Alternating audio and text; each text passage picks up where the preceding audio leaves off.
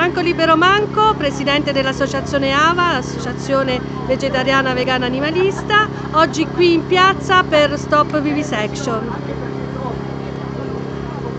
Oggi è un giorno importantissimo per noi.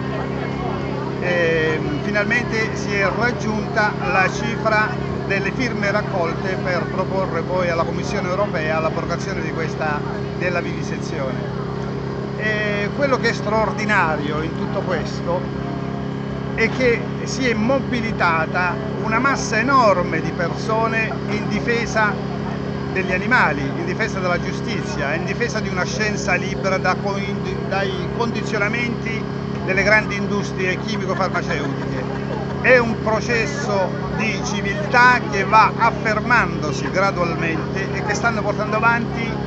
in modo particolare quelli del movimento vegetariano animalista. Io mi sento onorato a far parte di questo movimento che sta lottando contro questa barbarie che ha condannato gli animali ad un inferno inimmaginabile con la sperimentazione animale e, e sono, sono, lieto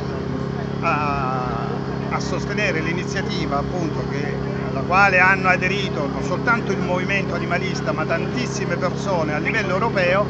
quindi il mio plauso va a tutti coloro che si sono diciamo, dati da fare per raggiungere questo obiettivo raccogliendo più di un milione di firme nella comunità economica europea e quindi finalmente sta emergendo questa nuova coscienza umana più responsabile, più capace di condividere le sofferenze degli altri, specialmente degli animali nostri fratellini,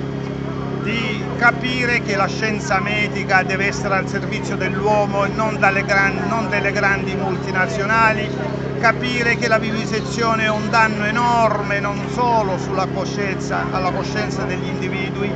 ma, ma capire che è un ostacolo alla vera civiltà e soprattutto al vero progresso medico-scientifico, perché quando la vivisezione assorbe ingenti risorse, non solo economiche, ma finanziarie ed umane, per una scienza che non ha nulla di scienza o di scientifico, ma che ritarda il vero progresso medico-scientifico con danni inimmaginabili sulla salute delle persone, allora credo che questo sia un dovere di tutti noi battersi in questo senso. Cioè io dico che una persona che sperimenta sugli animali non dovrebbe mai acquietare la sua coscienza. Come può una persona